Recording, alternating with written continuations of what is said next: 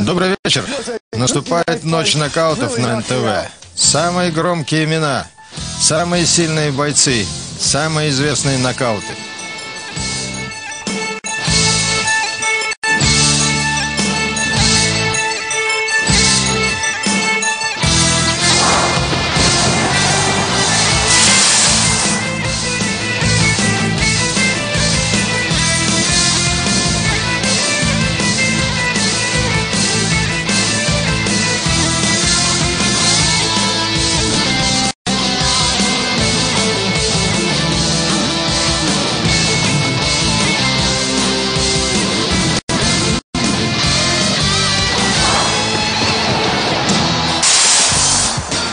Итак, сегодня и в последующих программах Антонио Тарвер по кличке Magic Man, фокусник, иллюзионист, Томас Тейт, средневес.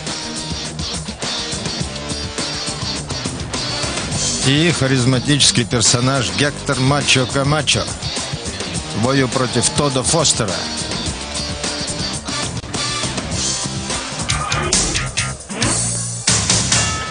Ну, а начнем с Тейта. Вот он на ваших экранах. Его противник Артур Уиллис. Тейт считался контендером, то есть претендентом на титул. Это второй средний вес, супер мидл, как говорят американцы, вес до 76 килограмм. Это очень интересная весовая категория, потому что скорость здесь как у легковесов, а мощь ударов как у полутяжей. Когда-то эта коронная весовая категория была в советском боксе. Вспомним Попенченко, Феофанова, Киселева, многих-многих других. Лемешева, олимпийского чемпиона. Это был наш вес. Ты черных трусах.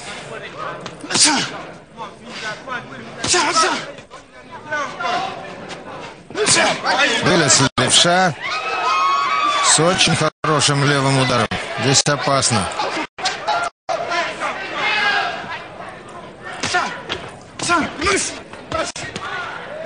Можете судить сами, какова мощь ударов, какова скорость.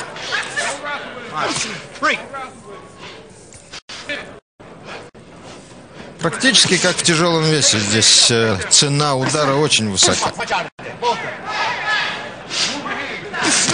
Второй раунд идет. И бой такой на встречных курсах.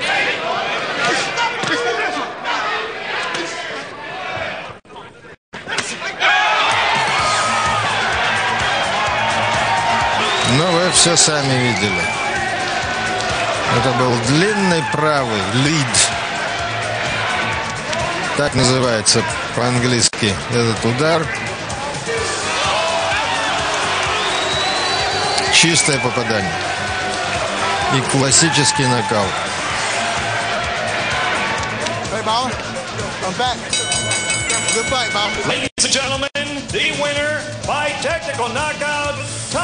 Но вот почему это называется технический нокаут, не могу понять. Минута 49 во втором раунде. Тогда у Тейта была 31 победа, 22 из них нокаутом.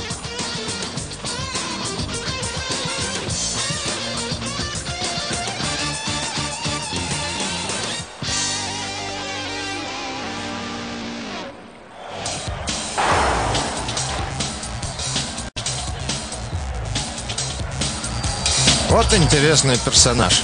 Этот самый Гектор Мачо Камачо. Эдакий петух, нарцисс, который любовался самим собой. При этом был славным парнем и очень хорошим боксером. Жить быстро, жить хорошо, жить радостно.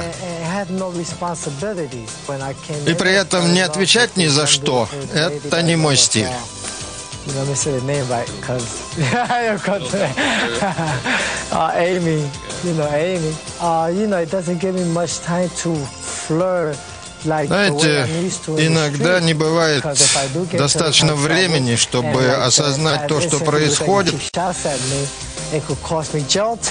Иногда ситуация в ринге дает мне такое сложное время, что я начинаю задумываться, а как я буду жить. Но я знаю, я буду жить со своей семьей, моей любимой семьей.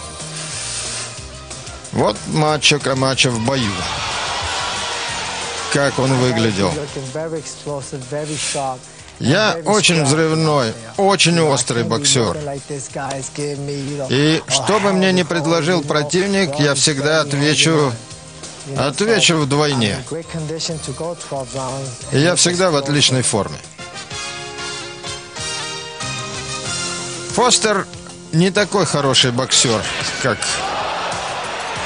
Камачо, но удар у него страшный. И кроме того, он наносит много ударов. Однажды он поставил рекорд. 100 ударов за раунд. 100 мощных ударов за раунд. Но вот не повезло ему в этом бою.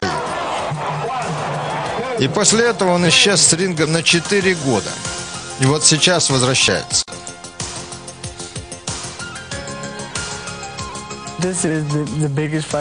Это самый большой бой в моей карьере. Я прекрасно осознаю его значение. И вот эти двое представляют собой классическую пару. Один боксер, другой панчер. Панчер – это тот Фостер.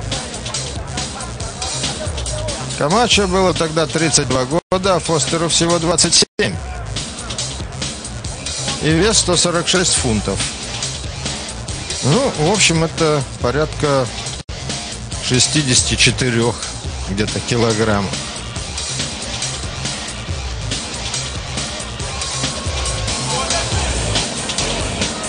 Фостер на 5 сантиметров повыше.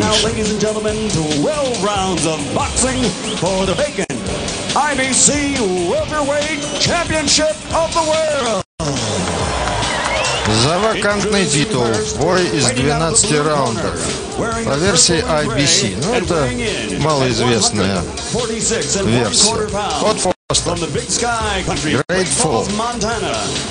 Из штата Монтана 33 и 3 у него, 29 побед нокаутом, 33 победы, 3 поражения.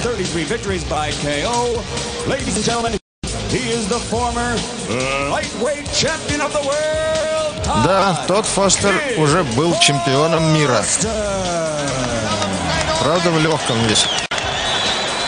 And his opponent across the ring, wearing the black and silver, and weighing in at 146 pounds. In his professional career, he's captured three world titles with a record of 48 and 3. 48 побед, представляете, было у Гектора Камача. Тоже три поражения, 22 победы нокаут. То есть процент побед нокаутом у Фостера намного выше. Трехкратный чемпион мира Гектор Мачо Камачо.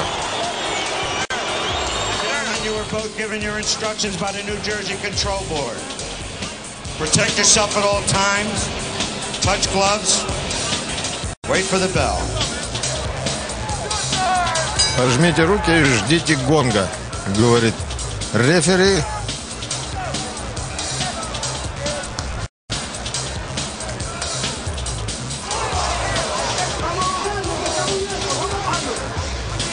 Фостер мог только одно в ринге делать выйти на ударную позицию, там уже противнику спасу не было. Но вот поймать на удар скользкого матча матча было очень сложно. А нарваться самому было очень просто. Никто не ожидал такого начала.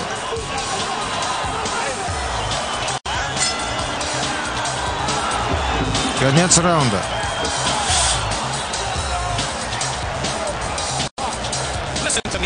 me in the face. What are you doing stopping when you're inside? Да, секундант ругается. Посмотри, посмотри мне в лицо. Что ты вытворяешь? Что ты там делаешь? Почему ты стоишь перед ним?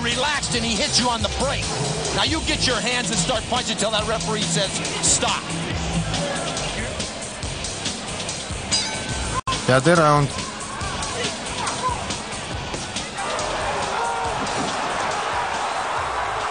Камачо всаживает левый в разрез. И тот Костер плывет.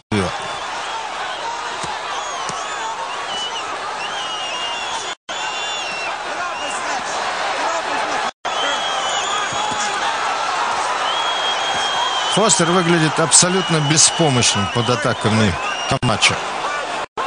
Что удивительно. И Камача работает как по тренировочному мешку.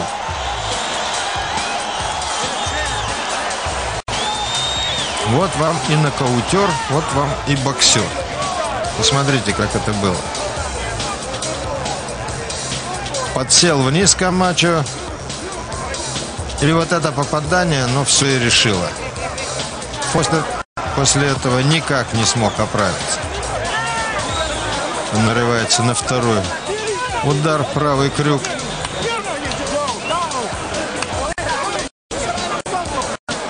Вот таким был Мачо Камачо. Кстати говоря, сейчас появился Мачо Камачо младший, его сын. И был даже такой курьезный случай, когда они оба в одной программе выступали.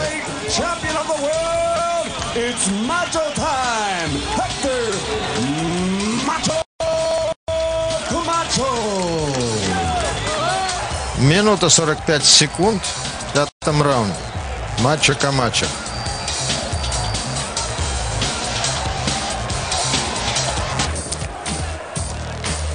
Ну, а на подходе мы скоро с вами увидим, не сейчас, Вивьен Харрис, Левай Лонг. Профессиональный дебют.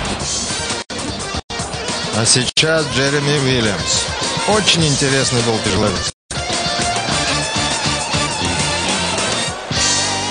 Джереми Уильямс против Дага Дэвиса.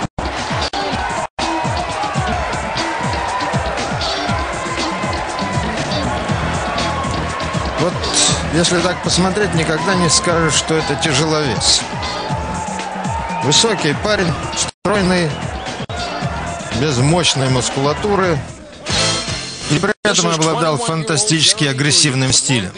В 21 год все считали, что это будущий чемпион мира.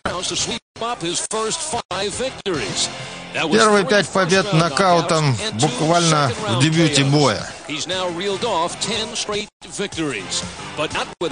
Против Мариона Уилсона он оказался на полу после сильнейшего удара и, однако, встал. Та же история повторилась в бою против Фрэнки Свиндела. Он едва встал с пола после тяжелого нокдауна и отправил противника в этом же раунде на пол. Знаете, не важно, сколько нокдаунов. Самое главное, кто выиграл бой. Я был на полу, потом я его отправил на пол. Они, правда, говорили, что он поскользнулся. Тем не менее, я выиграл. И это самое главное. Да, он был чемпионом в полутяжелом весе, когда был любителем. И у него было достаточно арсенала для того, чтобы стать тяжеловесом и профессионалом. Самое главное – иметь хороший джеб. Что бы у вас там не было, какой бы сильный удар, какой рукой вы не наносили, если у вас нет джеба, вы ничего не сможете сделать. И кроме того, при хорошем джебе вас не рассекут, не разобьют вам бровь или голову. Да, большие надежды возлагались тогда на Джереми Уильямса, и не безосновательно. Возьмите Марвина Хаглера, Шугара Рэй Леонарда и Джо Луиса, Майка Тайсона. Они все обладали вот теми качествами, о которых я вам говорил только сейчас. И главное не подставляться. Смотрите, какой я красавчик. На мне нет шрамов. Джереми Уильямс.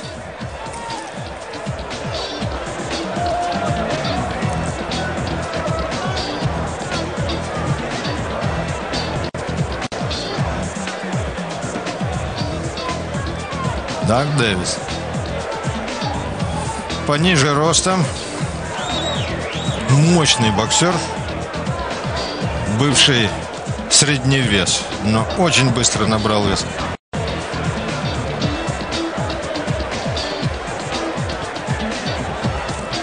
Вильямсу тогда был 21 год, Дэвису 29. Вильямс был потяжелее. и заметно повыше, конечно. Сантиметров на 10 он был выше.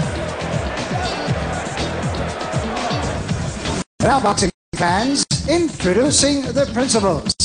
First in the red corner, wearing the blue trunks with the gold trim. He tipped in at an even 201 pounds. He has seven wins, five losses with six knockouts. Дуг From Дэвис 7 Allentown, побед, 6 Pennsylvania. нокаутом и 5 Ladies and поражений. gentlemen, Let's welcome Doug Davis. Davis. And his opponent in the blue corner, wearing the emerald green 200 trunks, фунтов the это red and 90 gold trim. с чем-то килограммов. Джереми Уильямс 212 pounds. Из Лонг-Бич, штат Калифорния, 20-0 у него тогда было, 14 побед нокаут. The former two-time world amateur champion. Двухкратный чемпион мира среди любителей. Williams. Williams.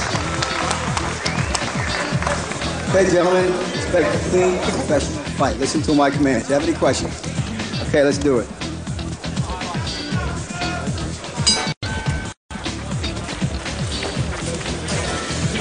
Первый раунд. И без всякого сомнения, конечно, силы тут не равны. Хотя бы потому, что я уж не говорю, какой замечательный рекорд у Джереми Уильямса, как у профессионала, но у него великолепный опыт боксера-любителя.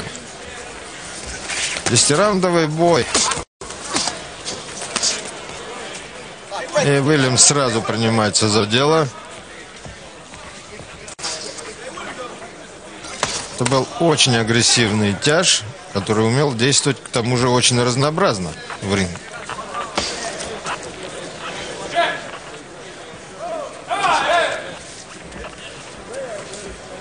Дэвис меняет стойку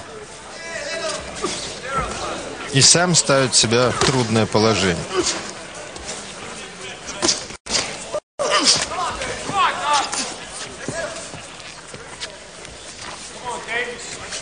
Хочешь быть левшой? Пожалуйста, и я буду левшой, показывает Джереми Уильямс.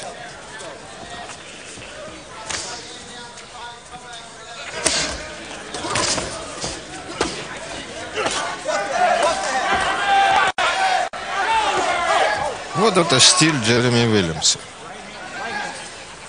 Он вкладывался в каждый удар, и он атаковал, когда атаковал, то отвязаться от него было просто невозможно.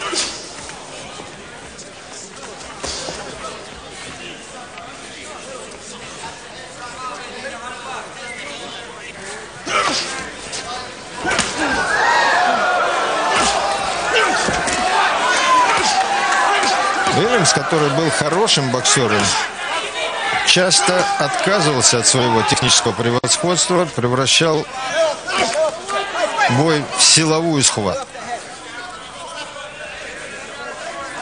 С другой стороны, что можно было ожидать от успешного бойца, которому 21 год? Сил немерено.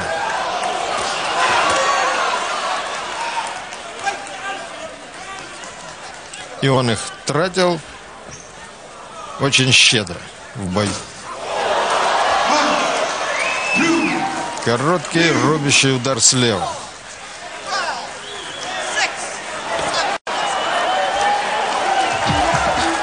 Да, после такого очень трудно встать с пола.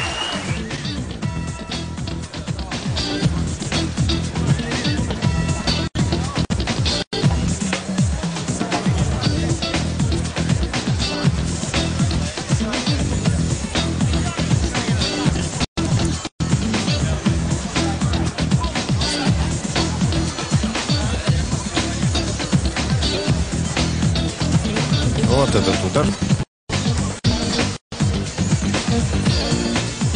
Уильямс наносил его, скручивая корпус резким рывком туловища. Ну и когда у вас под 100 килограмм вес, понятно, что будет с противником.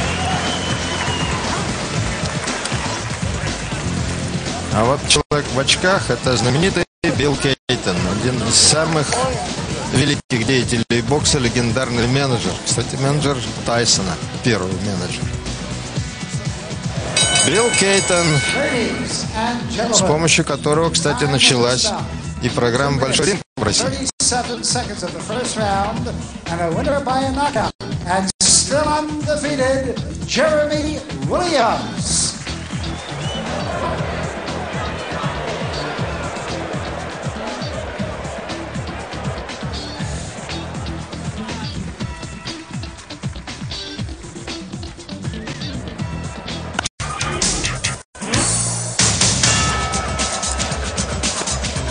Итак, Антонио Тарвер, бронзовый медалист Олимпийских игр. Антонио Тарвер появился на профессиональном ринге с одной задачей, которую он объявил – расчистить полутяжелую весовую категорию. Тарвер выполнил свою задачу, как мы с вами знаем. Давайте вспомним две его победы над самим Роем Джонсом. Причем одна из них победа нокаутом была очень впечатляющей. Многие считали, что это так называемый lucky punch, случайный счастливый удар. Но, как говорится, счастье улыбается подготовлен. А сейчас мы с вами можем понаблюдать за его дебютом на профессиональном ринге. Его противник Дюрел. Он справа. Смотрим со второго раунда.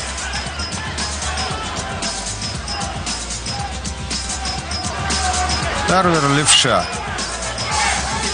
Очень хороший левша, очень опасный. С острым прицельным ударом.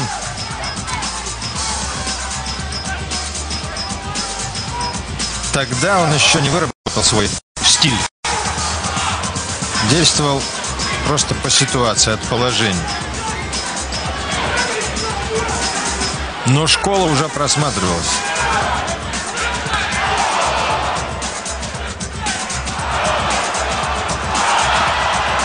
Видели? Просто расстрел. Несколько длинных прямых ударов в голову. Дюрел потрясен.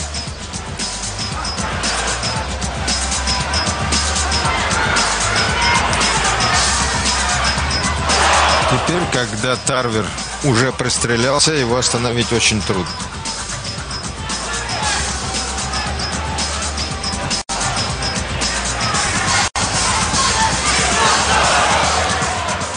Просто очень расчетливо и очень грамотно действует Тарвер.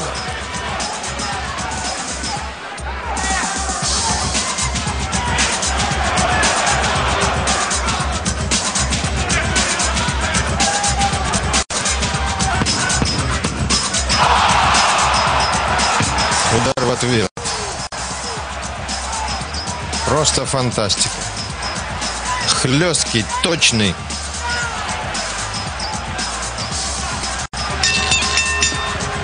Вот так Антонио Тарвер по кличке Magic Man начинал свою карьеру на профессиональном ринге.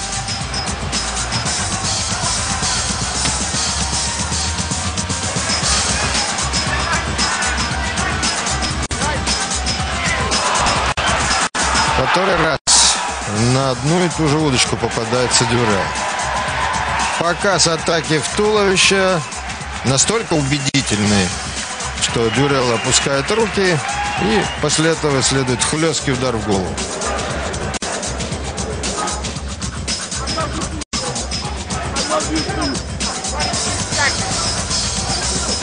Это вот первый нокдаун.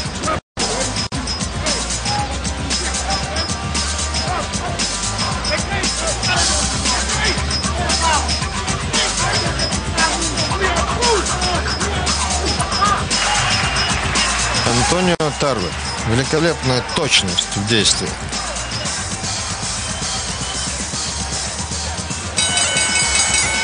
Ladies and gentlemen, from the legendary Blue, the winner by a TKO for his second straight win in his many pro bouts, the Это была всего лишь вторая победа на профессиональном ринге у Антонио Тарвера.